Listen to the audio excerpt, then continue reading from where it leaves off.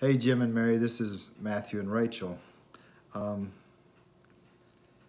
I just wanted to tell you congratulations, first of all, on your retirement. Uh, you know, some people, they don't get that opportunity, so congratulations on that. And then, more than that, though, I just want to say how much Jim and you, Mary, both have meant to me over the years uh, coming to Camp Victory. I haven't been around that much, but y'all have had a very impactful um,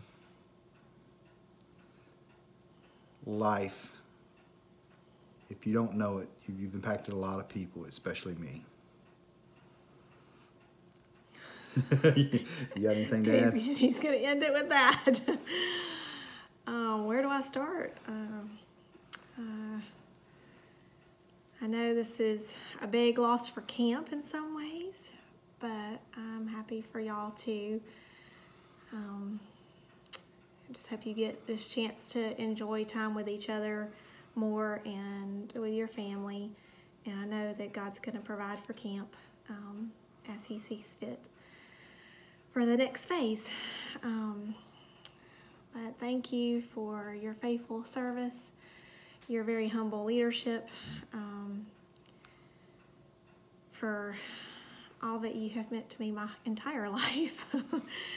um, having y'all as another um, another part of my family, uh, like another aunt and uncle, or um, and so much more as friends, um, getting to work alongside you. Um, but thank you, thank you for how you've both served with integrity and um, and just how well you have led um, the staff and how you've worked um, to keep the body unified, um, to really encourage consistent, um, consistently doing what God would have us to do as a camp, um, and never, never being prideful um, about your position or or how well the camp might be doing or whatever. Lord, thank you um, just for how well y'all served and just been an example of Christ um, to those that, of us that have grown up as staff kids and have worked alongside you both. Um, love you guys very much.